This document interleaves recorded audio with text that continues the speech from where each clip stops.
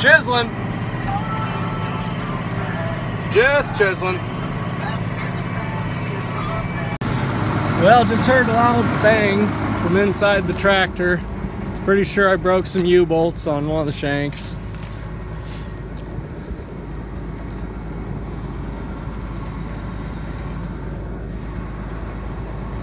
Oh yeah, a little damage, even started to crack a weld.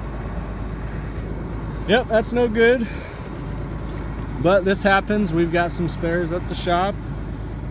We'll get it fixed. Must be a big rock back there somewhere. Well, we got two thirds fixed. We had two U-bolts on the shelf back at the farm. Uh, went to the dealership, which we I thought we lucked out because I could see the Case IH dealer from the field I was in. Anyways, they didn't have any, and the closest one's over an hour away. So I'm gonna finish chiseling tonight for the season anyway. So we'll run it with two, hopefully get by, and then we can fix it at our leisure. turkey, turkey, turkey, turkey. turkey, turkey, turkey, turkey.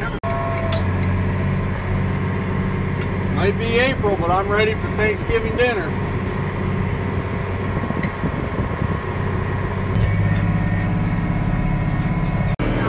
Thought I was crazy.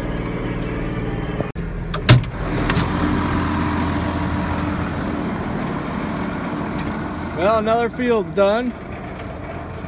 Normally we do all our chisel plowing in the fall, but this field, it's pretty hilly um, we don't want to cause any erosion. So we do that in the spring so that when the snow thaws and the spring rains don't wash all the topsoil away. Putting transport lock into place now.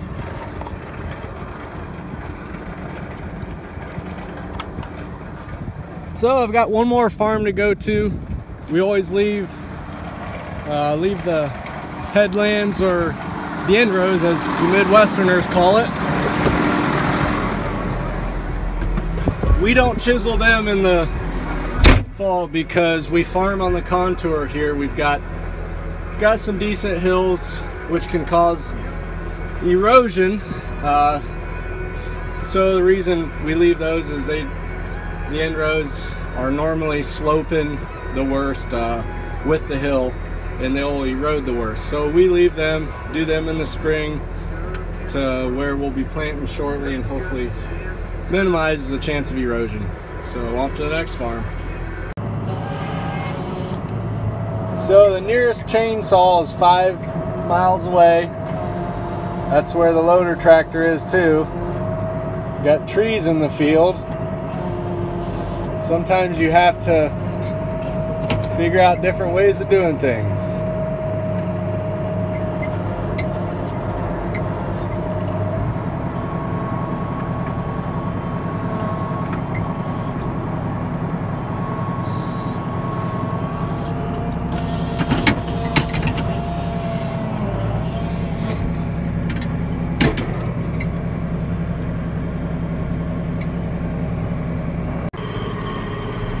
We got eighth generation farmer junior with us. This is Chase. Can you say hi, Chase? What's on your boots?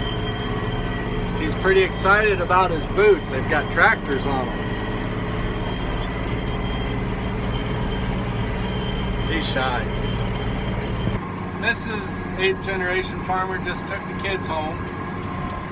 Hate to see her go, but I love to watch her leave. I'm just about finished for the night. It's about six o'clock. I'm a few miles from the farm, gonna head home and call it a day. Welcome back everybody. Finished chiseling yesterday.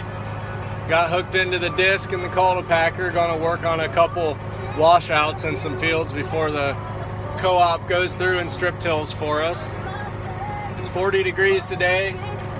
We don't plan on doing any planting probably for at least a week. Ground temps are pretty cold still.